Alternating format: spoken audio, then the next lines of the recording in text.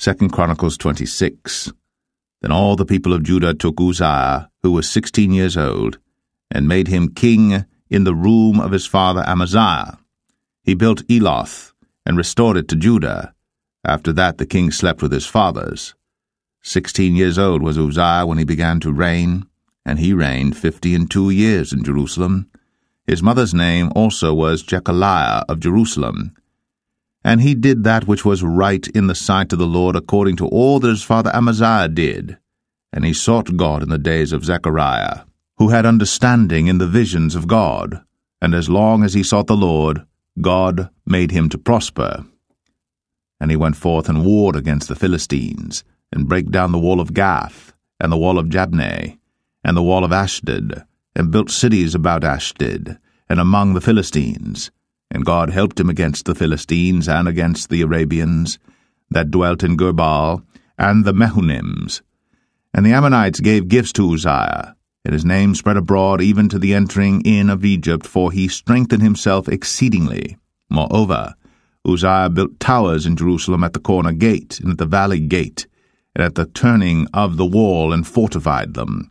Also he built towers in the desert, and digged many wells, for he had much cattle, both in the low country and in the plains, husbandmen also, and vine dressers in the mountains and in Carmel, for he loved husbandry.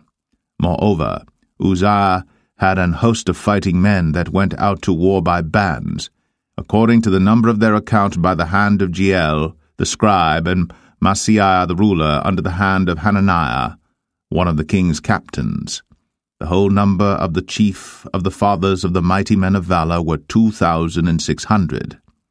And under their hand was an army, three hundred thousand and seven thousand and five hundred, that made war with mighty power to help the king against the enemy. And Uzziah prepared for them throughout all the host shields and spears and helmets and habergeons, and bows and slings to cast stones. And he made in Jerusalem engines, invented by cunning men to be on the towers and upon the bulwarks, to shoot arrows and great stones withal.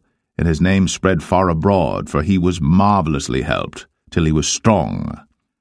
But when he was strong, his heart was lifted up to his destruction, for he transgressed against the Lord his God, and went into the temple of the Lord to burn incense upon the altar of incense. And Azariah the priest went in after him, and with him fourscore priests of the Lord that were valiant men. And they withstood Uzziah the king, and said unto him, It appertaineth not unto thee, Uzziah, to burn incense unto the Lord, but to the priests, the sons of Aaron, that are consecrated to burn incense. Go out of the sanctuary, for thou hast trespassed, neither shall it be for thine honour from the Lord God. Then Uzziah was wroth, and had a censer in his hand to burn incense. And while he was wroth with the priests, the leprosy even rose up in his forehead before the priests in the house of the Lord, from beside the incense altar. And Azariah the chief priest and all the priests looked upon him, and behold, he was leprous in his forehead. And they thrust him out from thence. Yea, himself hasted also to go out, because the Lord had smitten him. And Uzziah the king was a leper unto the day of his death, and dwelt in a several house, being a leper, for he was cut off from the house of the Lord.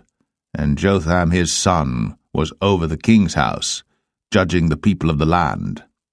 Now the rest of the acts of Uzziah, first and last, did Isaiah the prophet the son of Amoz write.